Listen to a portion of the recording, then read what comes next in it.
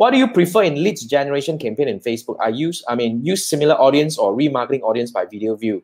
Like I said, I would straight away go for if you have similar audience, then you can look use the lookalike audience. I would say lookalike audience usually if you have high quality lookalike audience, then you're able to really get a very high, you know, better result right away.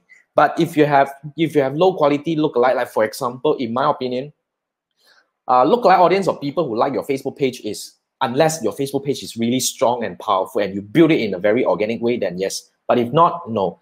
Uh, versus lookalike audience of people who bought from you before, then of course I will go for the bought from you before. So when you want to do lead generation, um, you know, you should immediately go for uh, you, you need to bring in the retargeting because same thing if you're setting up a video first then you retarget those people who watch the video i think this is this is kind of the thing that overkill uh, same question to the gamer scroll asked when you run ads on facebook you should straight away go for the action so you should straight away go for lead gen but what you should need what you need to do is you need to actually look for the right audience so if you're only retargeting people who watch your video the audience is going to be very small unless yeah, and video view may not mean anything to be frank on Facebook. It's a different ballgame compared to YouTube. So that's what I think. But thanks for the question, Ricky.